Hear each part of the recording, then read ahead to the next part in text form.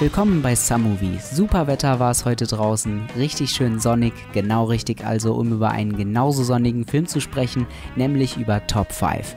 Erstmal ein dickes Danke an Paramount für diesen lustigen Film. Er macht gute Laune, bringt einen Witz nach dem anderen und macht den Abend oder den Tag, je nachdem, wann man den Film sieht, perfekt. Im Film geht es um Andre Allen. Der ist ein echtes Comedy-Talent und Filmstar. Er wurde sogar zum lustigsten Mann des Jahres gekürt.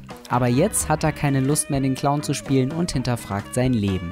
Von nun an will er sich ernsthafteren Filmprojekten widmen. Das Problem ist, keiner interessiert sich für seine neuen Karrierepläne, sondern eher für seine geplante Hochzeit mit dem Reality-Star Erika Long.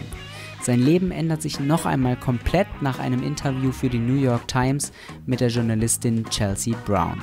Gespielt wird Andre Allen von Chris Rock, der gleichzeitig für das Drehbuch und für die Regie verantwortlich ist und der dabei nach sehr vielen Meinungen eine echte Glanzleistung vollbracht hat.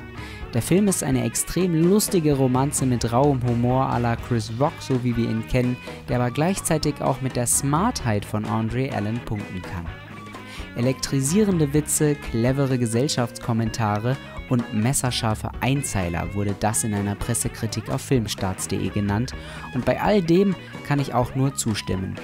Der Film ist für alle Comedy-Fans wärmstens zu empfehlen. Seht ihr das genauso? Fandet ihr den Film auch so genial?